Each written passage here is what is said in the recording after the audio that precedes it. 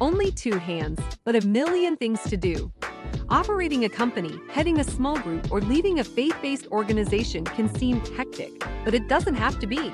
Organized Energy is here to help. We've created a complimentary guide that lists apps, tools, products, and services that can help busy professionals like you work smarter, not harder. Get the tea on which game changers can help save time, money, and operate more efficiently. Visit organizedenergy.co slash spill the tea.